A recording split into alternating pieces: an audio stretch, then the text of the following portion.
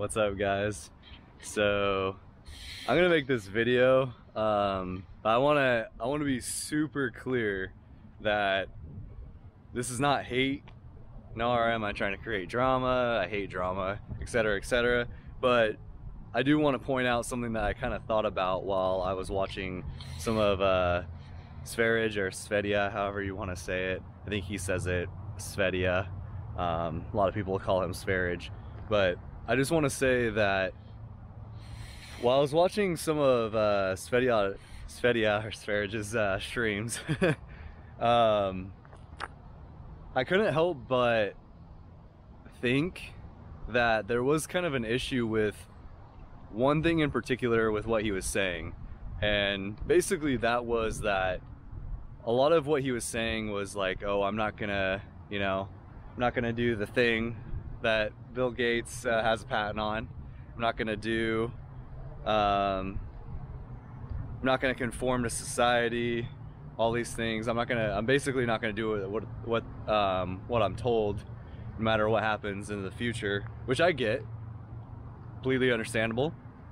I think a lot of the people that watch him feel the same way. I feel the same way.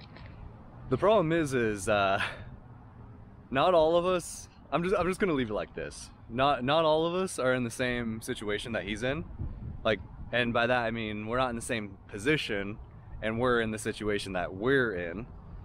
Um, in order to do that. So, what does that mean? Well, geographically, I think that he's probably in a and like I said, I, I don't even know exactly where he is.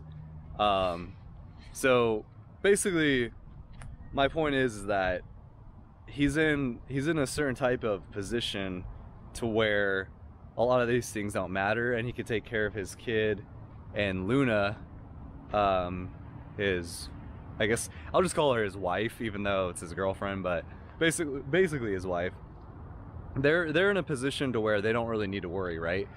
So for other people though, and a lot of and a lot of things that he was talking about on one of his more recent streams was um that he doesn't like it doesn't it's not going to affect him basically.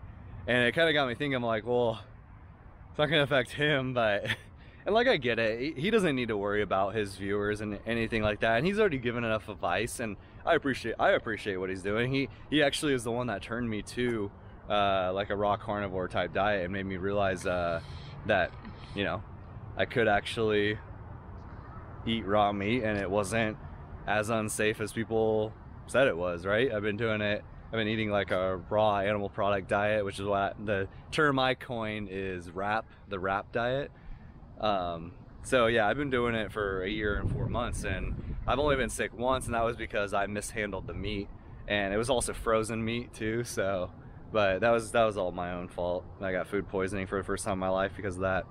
But basically, I think that it's really good. I, I like watching Sverige's streams and everything like that, but I think that people do just need to kind of keep in mind that he's in a relatively fair, favorable position to live the life that he does and the way that he does. And I think it's important for us that like his viewers that if you if you want to get advice and have like a better understanding of like how you should be living in these times it's a little bit difficult to relate is kind of the more the bigger point that I want to drive home is it's it's a little bit it's a little bit difficult for us to relate to Sverige when it comes to this specific topic and